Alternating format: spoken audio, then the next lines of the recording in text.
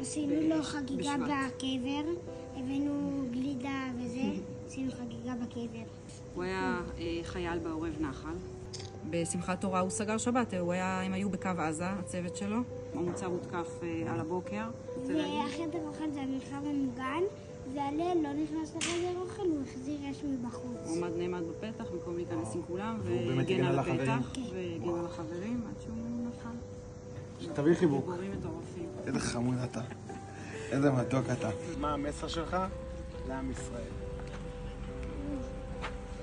שיהיו אמיצים ולא פחדנים.